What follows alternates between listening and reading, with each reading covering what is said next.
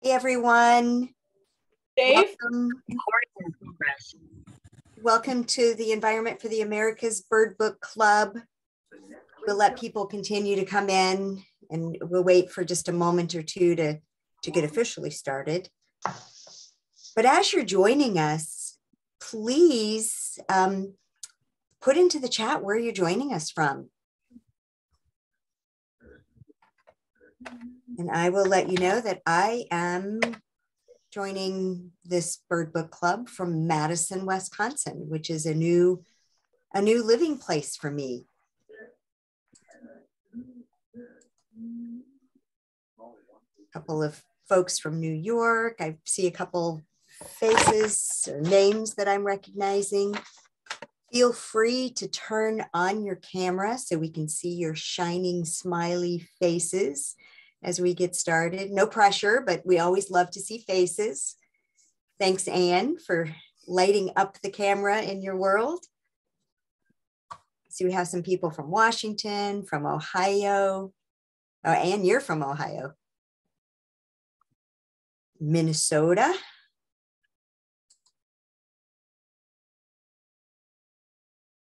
We'll just wait just a, a couple minutes while folks um, get on and join us. We are going to have a fun conversation this evening. We are uh, have the pleasure of Joan Strassmann joining us this evening, and she's written Slow Birding. So, and as you can see in my typical fashion, I have a lot of pages marked with lots of questions and things that I want to know a little more about. Hey, Roger, thanks for coming on camera and joining us this evening. Got some folks from Texas and Arizona. And again, we'll give just we'll give folks just a few more minutes to join us. And as you're joining us, welcome to the Environment for the Americas Bird Book Club. Let us know where you're joining us from. Where are you sitting tonight?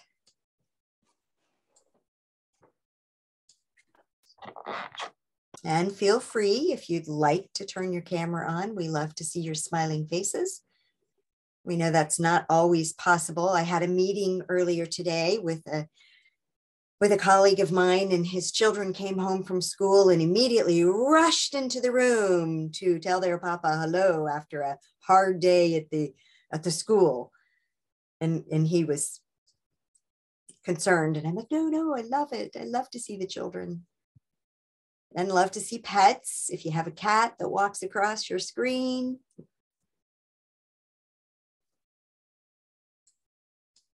welcome, Lisa. I love You're Blessed by Birds. Carol Myers, welcome.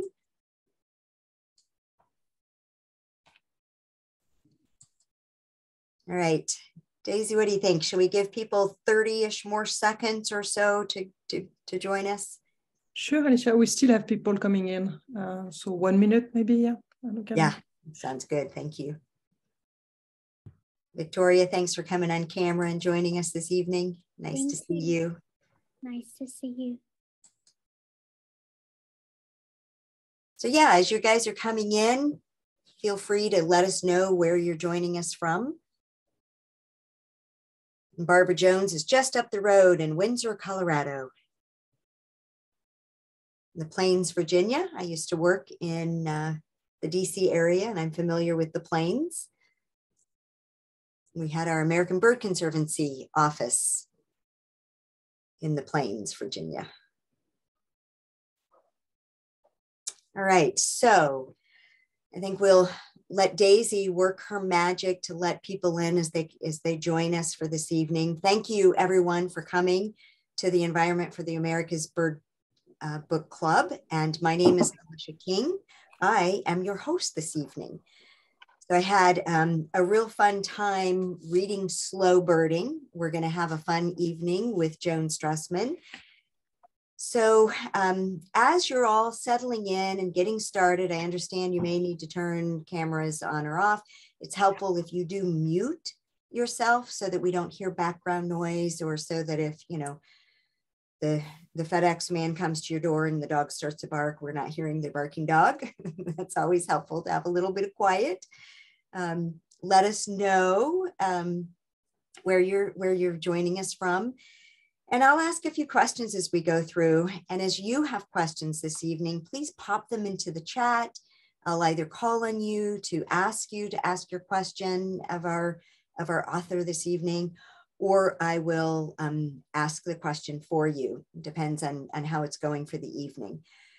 So first I want to start with a background for Environment for the Americas. I see some familiar names and faces, and so you probably know all about Environment for the Americas, but I would like very much to give a quick little PowerPoint presentation so that um, we're all kind of on the same page. So bear with me for just a moment while I share my screen and get that part of the evening started. All right, and I'm hoping that you all can see my, my screen. It says, welcome to the Bird Book Club.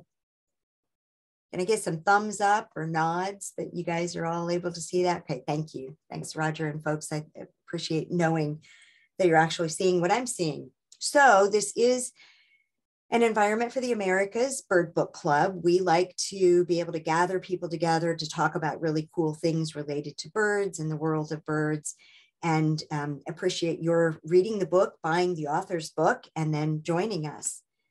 So if I can move to our uh, topic this evening is slow birding. So Joan Strassmann has written a really cool book that I enjoyed reading a lot the art and science of enjoying the birds in your own backyard. Um, fascinating things to learn and discover about the birds in my backyard. So, um, Joan is, is an author of sorts in many ways. She um, is currently, uh, um, and correct me if I'm wrong, Joan, a North American evolutionary biologist, and she's um, a Charles Rebstock professor of biology at the Washington University in St. Louis. She earned a BS in zoology from the University of Michigan and has distinctive honors, especially in zoology. Um, and she has a PhD from the University of Texas at Austin, um, which she got in 79. She has joined the uh, facility at, or faculty rather, at uh, Rice University in 1980, becoming a department chair. And she um, joined the biology department of Washington University in St. Louis in 2011. She is known, well known for her work in social evolution and particularly how cooperation prospers in the face of evolutionary conflicts. So I loved reading some of her book and um, knowing that about her. I want to tell you a little bit about Environment for the Americas and how we work together to really unify our voices for birds and their conservation. Everything that we do at Environment for the Americas is meant to engage people, to share information, learn more about birds, learn about their habitats, and learn about how we together as communities can, uh, can help birds and be great conservationists for birds. So we use global data, we use local data, we work with local organizations to do surveys um, at many, many levels so that we have some data and science um, related to the birds that we're trying to um, really um, engage people on and really um, think about the ways that we can do great conservation things. Environment for the America attends a lot of conferences and does a lot of things related to, again, getting the word out and then networking and working with folks in the conservation fields.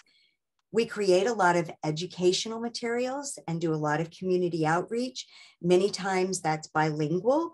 We um, do a lot of things in French and Spanish and other languages as we are able to do that. And that's one of the ways that we really connect with local communities. We also um, have interns. So we work with interns on a regular basis with other organizations. I work for the Forest Service. I'm in the Forest Products Laboratory in Madison, Wisconsin. And one of the things that um, Environment for the Americas does is pay interns to work with other groups and organizations and agencies to really help facilitate their becoming great conservation folks in the in the birding world. So a lot of things that just scratches the surface of what Environment for the Americas does. One of the things that Environment for the Americas is well known for is the World Migratory Bird Day. Um, previously, it was International uh, Migratory Bird Day. And now we have expanded to the world, working in coordination with um, the Convention of Migratory Species and the Agreement on the Conservation of African Eurasian Migratory Water Birds. So together and with other organizations at a local, regional, and national level throughout the world, we really celebrate the phenomenon of bird migration. And it really helps us um, think about the call to action to help the protect protect the birds that we share. So all of the things that we do are incredibly important in engaging people and getting the word out. And this year, our theme every year, the World Migratory Bird Day has a different theme. This year, our theme is um, water and just thinking about the sustainability of water as it sustains the life of birds and us and how it benefits the health and well-being of our whole world we do a lot of work with other organizations and specific things that are related to again you know that conservation theme but we um, work with the um, West, western hummingbird partnership and that across boundaries is so important for us to really think about what's threatening hummingbirds and what happens to benefit them. So raising awareness through trainings public events workshops and those sorts of things so that we just you know really reach as many people as we can. There are a lot of ways that environment for the americas reaches out to people and we write a lot of grants and we ask for money and we also have a shop. Daisy actually runs our shop. Thank you daisy for getting all sorts of cool stuff and wearing one of the scarves that's in the shop. Um, but one of the ways that you can help support Environment for the Americas is by shopping. So you know that when you go shopping, you're doing really cool stuff, really uh, supporting a cool organization. We have a lot of educational materials as well as some really cool things like glasses and plates and scarves and books and just amazing things that um, that you can give as gifts at any time of the year, of course but the in educational material is um, is really exceptional for what we try to do and is available for you to be able to share with schools or if you're giving talks or if you're traveling anywhere you know taking those those tools with you. So go shopping sometime really soon. And you can be a friend to with us. You can share with your friends and you can stay in touch with us. Follow us um, on our social media um, platforms. Follow us on and look at our webinars. And of course, you're here for the Bird Book Club. So thank you for that. That's another way you can support us is by being visible and sharing information with your friends. And at any time, you can reach out to us and ask questions you know thinking about things that you you know maybe you have an idea of something you might want to do in your community give us a call reach out to us and let us know what you're thinking we i my role at environment for the americas is as a volunteer. I, I have a day job that i have to go to um, which i of course love but i love doing volunteer work for environment for the americas and hosting this bird book club is one of the volunteer activities i do. And i'm sure we can find activities for you all if you're ever interested in volunteering for environment for the americas but I want to share with you our next book is called Flight Paths. And Rebecca Heisman has um, written a book just pretty much hot off the press. and so um, that is going to be our next Bird Book Club, um, March the 30th. So if you want to join us again for that, we'd love, we'd love to have you. And so I appreciate your uh, patience as I walk through that. Again, I just want to make sure that for new folks or folks that aren't as familiar with Environment for the Americas, that you do um, kind of know what we're all about and what we're doing. Thanks again for joining us. Let me just remind you, if you want to put in the chat where you're joining us from, make sure your mic is muted so that we're not hearing background noise or things that just might unexpectedly come up. And then your chat button should be at the bottom of your screen. Zoom is always changing, so um, bear with me if I say something that might not seem, you know, the same way on your on your Zoom screen. But down at the bottom, you should have a chat. If you open that up, you can see where people are joining us from. You can also put in questions or comments or thoughts as we walk through this evening. And, um, and then feel free to you know do a reaction if you want to have any kind of reactions you can you know share with us that you're thinking oh i love that or whatever it might be. All right. So this evening again we have the pleasure um, joan strassmann has joined us and she has written a lovely book slow birding. And as you can tell from my speech pattern, I'm a pretty fast person. And I love just this whole concept of thinking about how do I slow down and enjoy the birds a little bit more. And Joan, as I was reading your book and thinking about, you know, the questions that I wanted to ask you, you have um, the way you designed this book was beautiful because you have your chapters organized and you have that kind of list of things that we can do to in to increase our enjoyment in our backyard as well as other places and i thought about um, some of the words that you have in your book benefits advantage survival success enjoyment and those seem to kind of be throughout your book and particularly enjoyment and the the reinforcement of slow birding. So, without any more chatter from me for now, I'm going to introduce Joan. And Joan, tell us a little bit about you and a little bit about your book.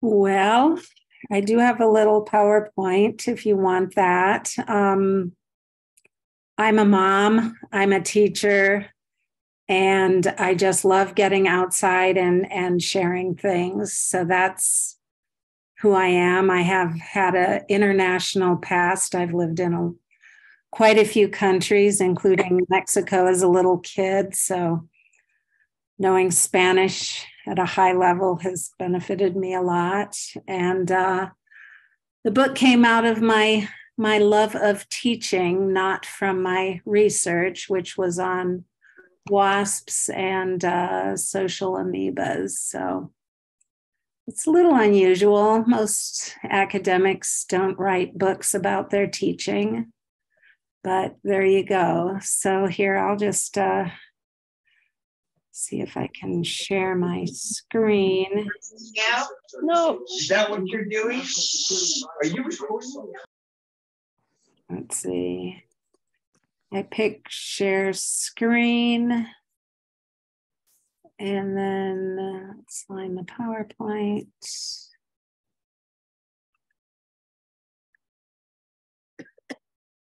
There we go.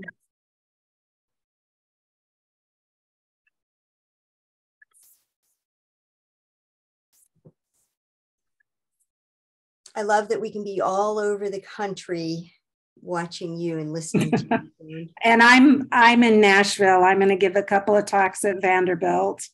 So I was like, nope, actually I can't go out to dinner tonight. So I had my my travel dinner of a microwaved sweet potato and a can of sardines. Oh. So anyway. Well, thank um, you for being with us. it's my pleasure. Yeah, so people wonder uh, why did I write this book? Why did I write it at this point in my career? I've now been a professor for like 40 years. And it's always really been for me about the students and inspiring the students. And I feel like my professors gave me a lot, and I want to give that back to the next generation. Um, are you seeing the banner up above? let's see, maybe that's better. Um, so slow food is actually slow birding is from the slow food idea, which is from um, a protest in Italy in, in I think 1987. protesting a McDonald's going in by the Spanish Steps. And it's now grown to be quite a big movement celebrating local natural foods. And so I thought, oh, we should celebrate local natural birds also. So that's uh, kind of where it came from. So, thinking about my students, I wanted them to really watch birds, see the details, see that this uh, this American coot is picked just one of his chicks to feed. Here you can see that this one has a little label on it. So I started out asking the students to just answer three questions. I showed them three birds species on campus, and this was back when I was at Rice. And the first was how do birds use time and time and space? And this, of course, is something that we can all answer. We can, and you just answer it by watching and trying to understand. And then I asked, well, how does that differ between the sexes? And that was a bit of a trick question because two of the species I gave them, you couldn't tell the sexes apart. So they struggled with that, and that was good. And then my third question was simply, what else do you want to know? And so this was a very slow and experiential course. And we then went on to have the students actually write on a blog, which I started uh, yeah, in November of, of 2010. So a bunch of students wrote for that. So I really wanted to get the students involved in things. Um, I never thought I'd actually write this book. I'm I've got it right here. I brought a copy. It's just like amazing to me that after talking about it all this time, I actually wrote it. So I know you'll probably have a bunch of questions. I just wanted to share my artist is Anthony Bartley and he was a undergrad at Washington University. He's in Chicago now. He does such amazing art that I never even occurred to me to ask him. But then he mm-hmm. he got a job with the OB-GYN department at Washington University School of Medicine. I thought, wow, if he can draw that stuff, maybe he'll draw birds for me and so he did the illustrations and i just want to give him a shout out. He's i haven't bought any of his paintings but i'm going to. I guess if i needed to say a couple more things one is probably you all know about merlin and and have it on your i don't even know why we call these things phones you know but yeah this life organizer that we'd be dead without um, Merlin is a great app. I use it all the ta- time to learn the songs. And then I just love logging things on eBird. And I feel like I want to give back and being a citizen scientist and showing what I've seen where is just uh, really important to me. So I'll kind of leave it there. And I'm happy to talk about the book, the birds, or anything else that you want at this point.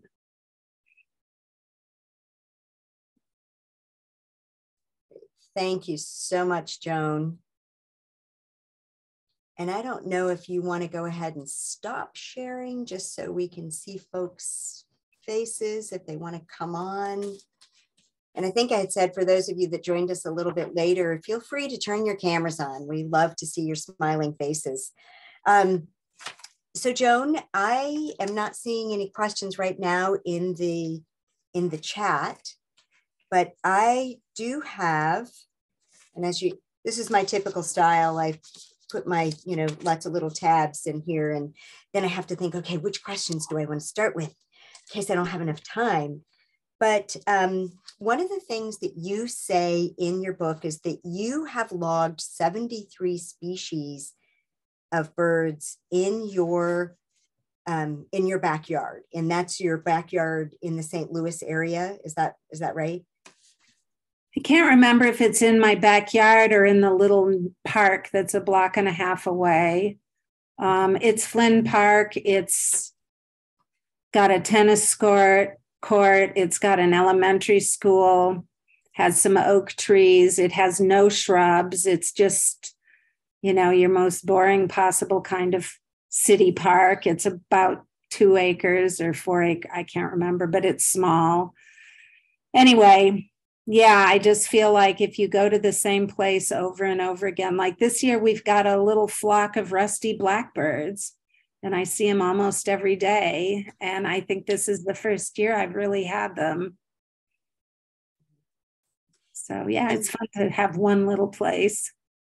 Yeah. So I was thinking about, you know, 73 species, and I'm like, uh, so I've just moved into a new home in Madison, Wisconsin. And uh, I think I'm up to about 21 bird species that I've seen in, in my yard. And one of the things that you recommend at the end of a lot of your chapters is for folks to keep a journal and write things down. And how many of you raise of hands or, or emoji or put in the chat? How many of you um, keep a journal of the birds in your yard? Whether you, I see Jeannie, mm-hmm. Katie, number of folks, and so, and I'll, I'll raise my hand because I do a, a, journal. I'm not always real good about it, but one of the things that um, you point out in your book, and you just kind of alluded to it, is you can learn, wow, that's a bird that I haven't seen. Or it's a bird that um, comes back every year in September, or, you know, like the Juncos maybe are showing up, you know, in, in, um, you know, in the later fall, or maybe they come early a couple years. What's up with that? And I love that you ask people or tell people to consider eBird, putting you know their um, sightings in eBirds.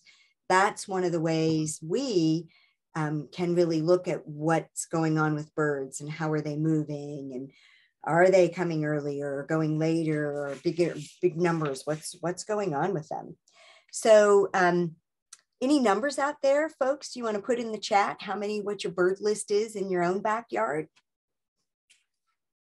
so I can tell you something about Madison, and that is uh, Sylvia Halkin studied uh, Northern Cardinal songs there in her graduate school days. And just recently, she's gone back and listened to the songs and found that there's some differences in the way that the birds in Madison are singing over the 30 or so years since she was a grad student. So she gave a talk on that at the uh, American Ornithological Society meetings last summer. So, yeah, so take a hard listen to your your Madison Cardinals because they didn't used to sound like that. interesting, interesting. I know that when we think about birds throughout the country, um, you know, they do have a little bit of a dialect difference depending on where they are in the country. And uh, I used to tease that the Southern birds had a little bit of a Southern accent.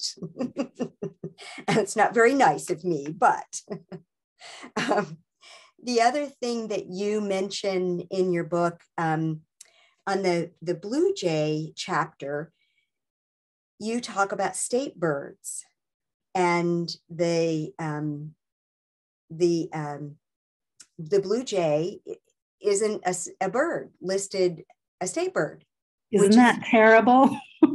that's really funny, especially because the cardinal, oh, I can't remember. I have it written here somewhere, but you said the cardinal has like what, seven or eight? Cardinals, mockingbirds, meadowlarks have a whole bunch of states, and not a single state has the blue jay. Yeah, so it's sad. It's sad. No, they get no respect. Everyone Googles them. They're one of the top birds people Google. But yeah. And that surprised me also the list of, yeah, Google. Um, what was it? You had it was um, Blue Jays placed sixth as one of the most Googled birds. And then wild turkeys, bald eagles, common ravens, mallards, and ospreys were the top. I'm anybody else just kind of curious about the whole Google thing?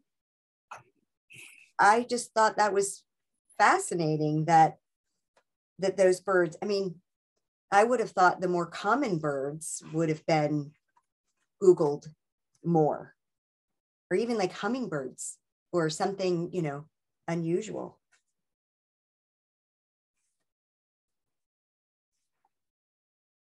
And then just so you know, Joan, we've got a couple comments about people doing eBird. So yay, more power to you guys. Thanks for doing doing the eBird. That's that's um, helpful. And then Katie says a true example of slow birding in my area. Um, in northern Parula, Parula, if I could talk, uh, of the year exactly in the same spot on her nature trail um, as it was the year before. And she says, yeah, I loved it in eBird, of course. The birds have started singing in St. Louis. I mean, the cardinals have started singing. The juncos, of course, the juncos aren't going to breed in St. Louis, but they've just been kind of hovering around and eating all winter. And now they're starting to fly after each other and they're singing. And uh, yeah, it's uh, spring is coming. you know, I moved from Washington, D.C. to Alaska, and I had to really get used to the reversal of the Juncos. Like, you know, when I was in the lower 48 in, in D.C. and Indiana and, and other areas, eh, the Juncos were a, a sign of, of winter. And I was like, yes, it's winter. The Juncos are here. And when I moved to Alaska, I was like, wait a minute, the Juncos are here. It's not winter, it's summer. Yeah. So Jill Boyce says that she loves your emphasis on deepening your understanding of your local birds. The opposite of what I sense what I sense is a, com- a competitive race for species tallies. Yeah, you know, I I call those guys motor birders, and I am, of course, guilty of it too. I love running around and looking at birds, but I, you know, I just read one of those big year books, and I I got to the end, and the person saw many birds, and I got to the end of it, and it was a great adventure story. But then I started thinking, did he? Because of course it was a he. No offense, guys. Um, did he tell me a single new natural history tidbit about a single one of those birds? And don't we get so much more out of the birds by actually seeing what they've done? And, you know, I'm not an ornithologist, I'm a consumer, an uh, avid consumer of all the results that these great people have, have done. And my one thing that was fun about the book was the really private stories that people would tell me about how they actually did the research.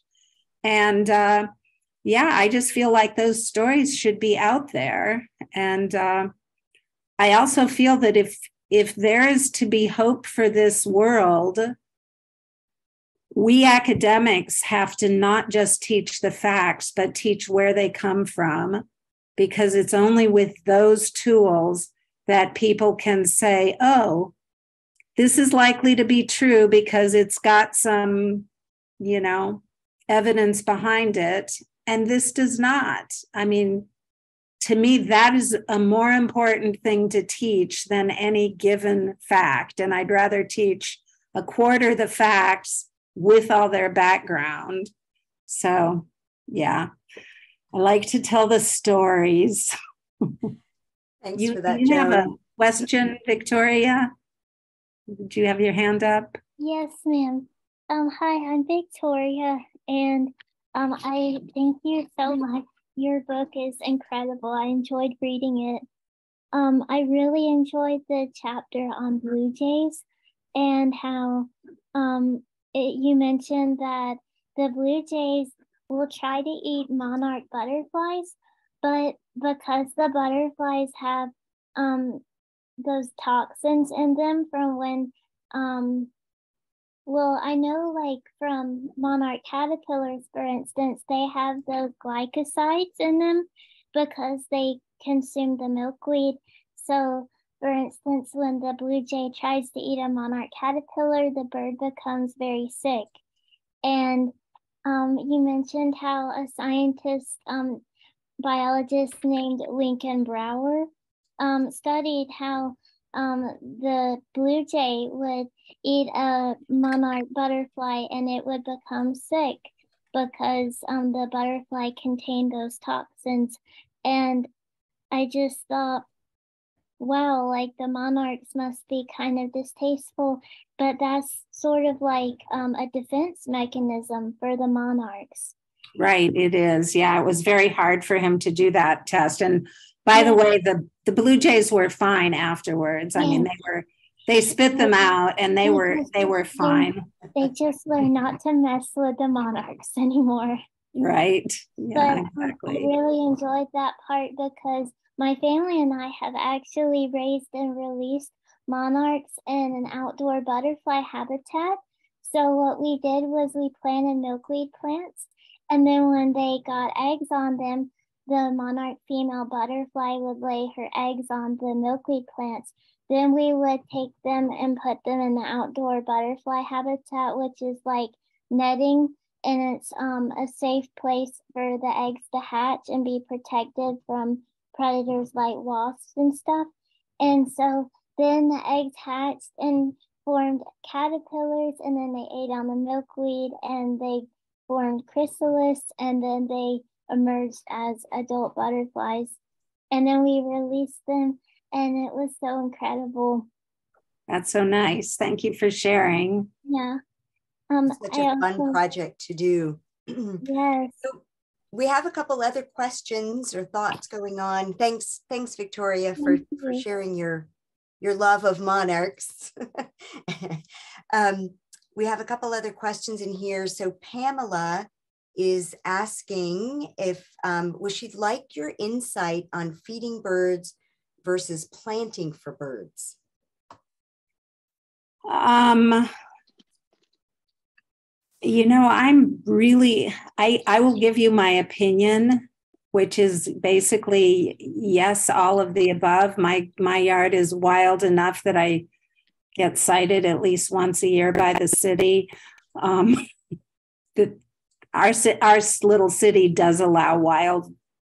I just have to convince them they're not weeds. But anyway, yeah, so I do lots of planting for birds, and I think planting is great. But anything that brings people and birds together is good. And I, I think, you know, I'm okay with feeders as long as we follow whatever the rules are at this point for avoiding uh, bird flu, which seems like it's it's uh, yeah. So I'm not the expert. I do both. Thanks for that question. That is something that people do ask. Um, you know, and I think Joan, you mentioned this uh, throughout your book, it, you know, that natural habitat or that habitat that encourages birds, you know, um, to come to, to not only your backyard, but perhaps a local park or another place and supplementing the birds. The birds don't become dependent on your food source. So supplementing with bird feeders allows you to bring those birds in a little closer, allows you to maybe study them a little more um, you know, allowing you that that closer look. And it's and it's fun. You know, one of the things that somebody says, and let's see if I haven't lost this. Um, uh, oh, Allison. Hi, Allison. Thanks for joining us. She appreciates that you worked science into the appreciation of birds. And so you do that so lovely. You just, you know, the the um, little things that we might be wondering about birds and you bring that into the discussion so that we can appreciate that a little bit more and that's i think you know part of your point of slow birding slow down watch these birds look at these cool things that the birds do um, that you might not notice if you're one of those motor birders or just you know looking at the at the um, you know the bird feeder and go oh, yep yep cardinal uh, chickadee, um, downy woodpecker. Yep, got it. As opposed to relaxing. So it's, I've read a lot of books about nature. I just, I read all the time. Right now, I'm kind of obsessed with a mystery series. But anyway, um, the challenge for a scientist is to not write a dry book that just has all the kind of facts about the birds And so it took me a long time to conceptualize the book and to realize that I did not know how to write this book and I needed to learn how I do know how to learn things and I needed to learn how to write it. And um, so some of my friends who have read my book have said, Hey, Joan has written a behavioral ecology textbook here, sneaked in among all of this other stuff. But really and, it's true that you know i had a list of concepts that i wanted to show up in that book and you know i didn't want it to be a dry book. I've read lots of dry books. I've read lots of books on writing. It's like there has to be an arc. Oh what is an arc? I don't even know. And i realized then i really wasn't that good at art. So that's why we have you know bird by bird. And then you know i realize they they say well there has to be a narrative voice and there has to be a kind of protagonist to the book and i was like oh well that's kind of embarrassing. I guess it has to be me. Um, so then you know putting in the personal stuff felt really um, embarrassing at first but then i kind of got into it. And even my science friends have said that they like the stuff that's not the science better, you know. So I, I had, you know, I had I had three things. I had my experiences with the birds. I had the ornithologist's own stories about the birds and about studying them and what it felt like to studying them. And then I had the facts about the birds. So I I really always had for each bird those three things in mind and tried to um, meld them. You did a, a lovely job. I um, I love that you go to the A well AOU meetings. I'm dating myself by saying AOU, but the um, and in fact, I remember the one in St. Louis years and years and years ago. But the um, I, I, I love that you mentioned the American Ornithological Society meetings and other meetings similar to that, because you can, um, you know, go to those those papers and you know learn the little bits and pieces one of the first ones that I went to um, years ago talked about chickadees and how chickadees determine which seed to take from the feeder. And it's yeah. fascinating. Yeah. So there's a question on binoculars. Mm. And um, I have two kinds that I use. I have some eight by 20s that are little and I have with me all the time. And, you know, I went down to Texas to, I'm, you know, lived in Texas for 35 years, went to High Island and I had those and I got ridiculed um, because they're such little binoculars. They were very good binoculars. I also have, so I have a, 8 by 20 or 10 by 25 and then i also have a uh, a rather nice pair of um, 10 by 40s, which work better in dim light.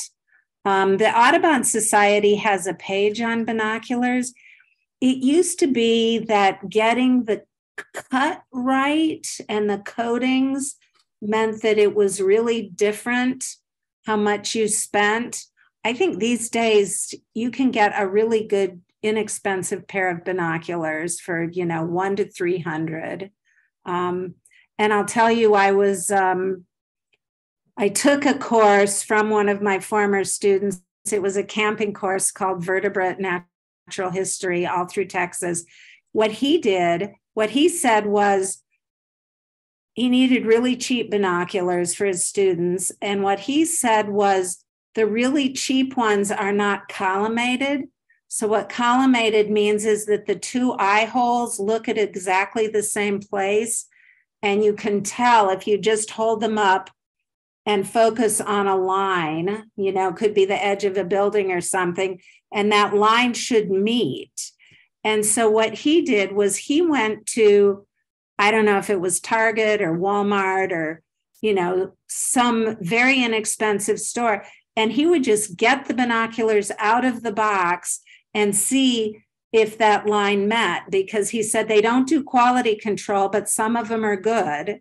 And then he was buying like $35 binoculars for these students that at least lasted for the month of the course. So I just, I don't know. I don't, I don't stress too much about binoculars. I mean, you know what they always say, right? Is that the best binoculars are the ones you've got with you. Um, so you'll get a headache if the two eyes don't point in the same place. You, I get a headache. But other than that, the Audubon page, I think it's Audubon Society has a page, you know, you've for different price price points. And um yeah, so I would just look at that. I just, yeah. I'm not a binocular snob at all. Well, and to your point, Joan, what binoculars feel good for you? You know, people have different faces and different um, features and so go someplace where you can look through different binoculars and and if you, know, have glasses the some kind of depth matters okay so someone asked about pushback on the more invasive research i describe. Um, so i can tell you that i did not talk about any research in which birds were killed. Um, there have been some negative there's a person who uses the term slow birding and thinks she used it before me but i have used it since 2010 so that's not actually true. Who's criticized the some of the things? Some people think bird banding is invasive. Um, there was a study of house sparrows which are actually not a protected species. You can squish them legally. I would never do that. Um, putting little weights on their feathers to change the cost. Um, other things, I guess Ellen Ketterson put uh, juncos overnight in a uh, incubator to see how much weight they lost. Oh, what else was invasive? Yeah, I mean, taking little bits of blood. I'm the kind of person that when I studied wasps, and at the end of a month, we killed those wasps, I felt terrible. I felt, I just, you know, I had nightmares. I felt terrible. You know, I, there was zero chance I would not write up those papers because I felt I owed it to the wasp god. So, um, some people think we shouldn't even band birds. And I do a lot of bird banding. I feel like with understanding comes compassion. With understanding, we find out what it is that birds need.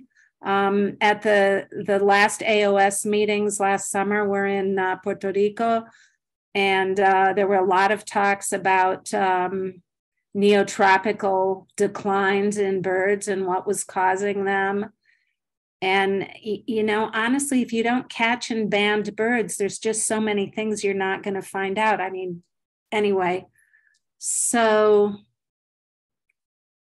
So yeah, um, yes, there has been some pushback on on some of the. I, I I'd be curious if you wanted to tell me what exactly you had in mind, which invasive thing caught your eye. Well, it wasn't me. This is Roger Everhart um, it was a discussion over the book. I, I love the book. I thought it did a, a great job of describing what science is really like. Good. But um, I guess it was the one, I think it was the rail chicks that they took the plumes off uh, and the parents would stop feeding them. Oh, the coots. Coots, right, right. Yeah, they are in the rail family, of course. Yeah. Yeah. yeah. So that um, was one that, that they thought was uh, uh, you know, mean, unnecessary, whatever. But um, I, I, my personal opinion is I think a lot of people don't understand the process of science, but they also don't understand how hard the natural world really is.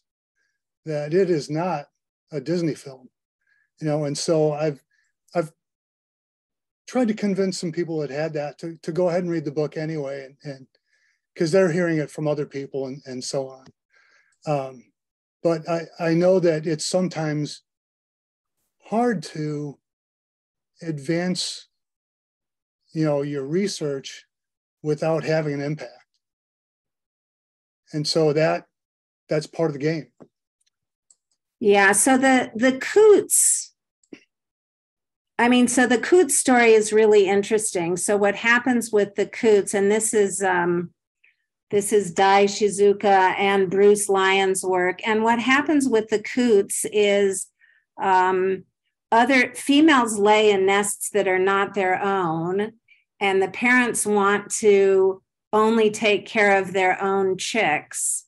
And so um, so there's this tension about how the parents decide. And so there's always more coot chicks lay eggs that are laid than will be taken care of.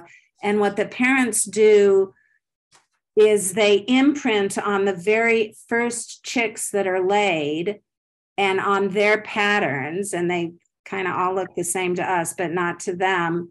And then as they're when the later ones come along that look different, those will be from the the um, other females that just laid in the in the nests, and they, yeah, they are those chicks don't get cared for. So the the the coot parents at first they feed the first hatched babies. So this is another thing that quite a number of bird parents do, and that is if you want to rear all your chicks they only lay one egg a day. You lay one egg a day. You don't start incubating till they're all laid.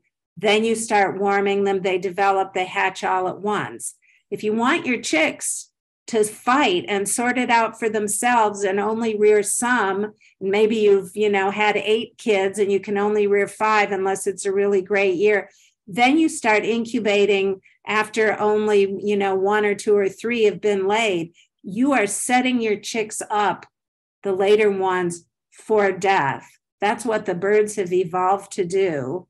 And yeah, it's horrible to see this little chick, you know, not getting fed. Uh, and you're right, it's it's it's biology. And if our main goal were to save the birds, then understanding exactly when and how that happened could inform, for example, management decisions to reduce it if that were our goal. So, for example, with coots, they nest in the fringes along lakes in the reeds. And if you wanted a management plan to reduce that kind of competition, you would space out the areas where you you had the good nesting habits habitats for chicks for example so I think we need to understand what our goals are and what the birds are doing. And yeah, that can't always be done without any kind of experiments. But you know, I work on wasps and I work now I I've worked I work on an amoeba.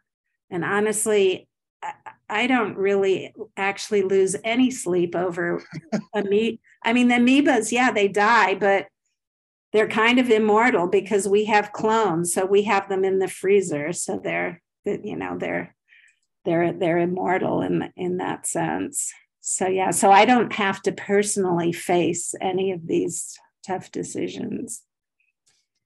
You know joan you you bring up a great point about our need to understand birds so that we can think about um, you know the conservation efforts. And you know you've mentioned uh, throughout your book the use of eBirds and just you know um, the science that you have shared with us in all of your chapters is very valuable in us knowing you know what do we need to do to protect these birds whose lives we impact um, on a day-to-day basis with the things that we do? You know you had mentioned um, predators when you were talking about well you had you know your chapter on on cooper's hawks and the the habits of these birds have changed not only just because situations change but because we as humans have changed the situation for them and we've introduced things that might not have been um, a, a, problem for them originally. You know, the glass buildings that we build, the the way that we do, um, you know, plant non-native species, or the fact that we've introduced cats into an environment where they're not not native. I, I mean, just you know, all sorts of things impact those birds, and to better understand them, you know, we do have to do some research and some considerations for them. At the beginning of, of our bird book club, I had mentioned some of the words that kind of, you know, um, continued throughout the theme of your book the benefits, advantages, survival, success, risks. And you mentioned some of those things um, in your book. And you also mention a couple invasive species that you, um, you know, were doing slow birding. You mentioned European starlings. And they're absolutely stunningly gorgeous throughout uh, you know um, part of their life. You know they're sparkly and they're just gorgeous even though they're european starlings. And same with english house sparrows the way that you know we they're they're thriving here but not in their native native lands. Can you speak a little just to to that um, kind of emphasis so, you know, I debated whether I should include these two common birds in my neighborhood.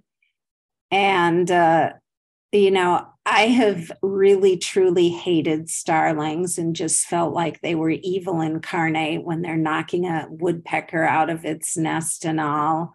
Um, if you look at this, if you look at the data, though, we are so much worse, and that the starlings and woodpeckers actually don't one doesn't do better when the other does worse. They both do better when humans do uh, are less are less uh, harmful.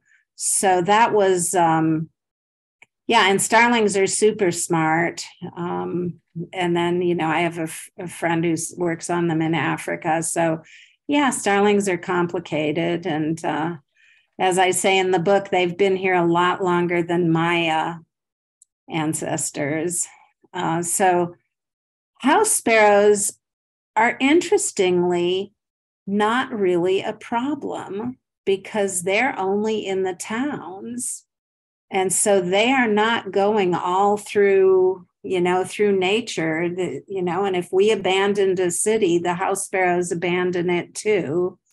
So that um, I spent a sabbatical in Oxford and birded uh, uh, Christchurch Meadow, and the only place there were house sparrows was right along some apartments that had feeders in the back. So I saw, I saw the differences. Then in St. Louis, we have the uh, American tree sparrow, which is a house sparrow that has a little brown spot on its cheek and it's you know really treasured even though it's also invasive but it just didn't spread very far and it's not that common. So um, invasive species are a challenge for our time and they are plants there are insects there are so many different organisms. There's you know i uh, have a cottage on lake michigan and the damage that has been done to that lake is just yeah from the mussels and things. So yeah i just think we have to know what we're doing and not lose hope either. You know we have to stay positive. Sometimes it's hard. So well, I think sometimes that's where slow birding comes in because we can really enjoy the birds that are in our backyard. We can enjoy the things that we, um, you know, that we have eh, in in our yard, and we can create um, environments that help us enjoy the birds that are visiting our our spaces. I know I'm looking forward to my new place and doing that here. Just you know, planting a variety of native plants, always plant a pollinator garden, and then think of, you know, what's going to, what are the goldfinches going to eat, you know, as they go into, you know, their later nesters and, you know, they eat a little differently than some of the other seed birds. But um, I'm I am so grateful, Joan, that you wrote this book and that you included these fun things in in the book, things that we can learn about and things that we can share with others. And um, we we only have a couple minutes left. Is there anything you want to share with us before we say goodnight to all of our Bird Book Club members?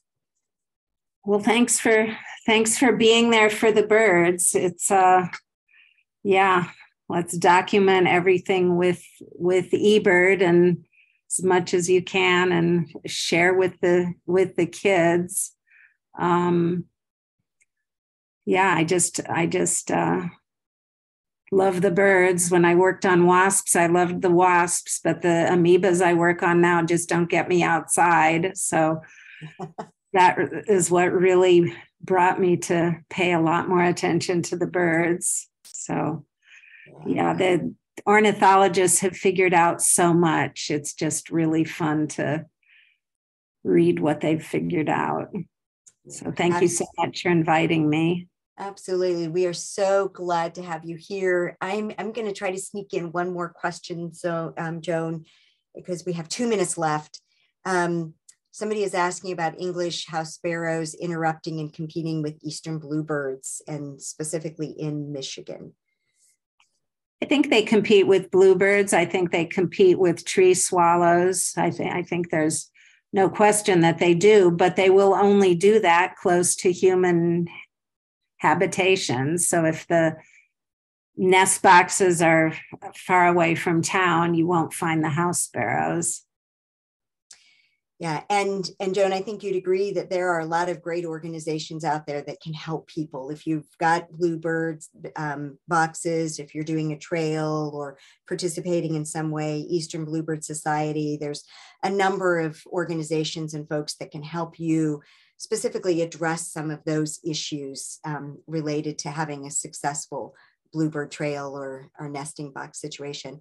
And Joan, you're getting tons of kudos and wonderful and a blessing, blessings hearing you, wonderful book, appreciated the conversation.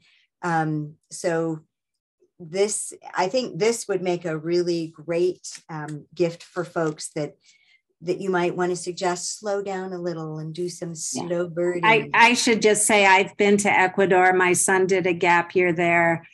Yeah, my son-in-law is Peruvian. Um, my daughter-in-law is Brazilian, so we do get to South America quite a bit. That's yeah. nice. Yeah. yeah. Um, and for those of you that might not be seeing the chat, that's um, a response from Lisa, who has joined us from from Ecuador.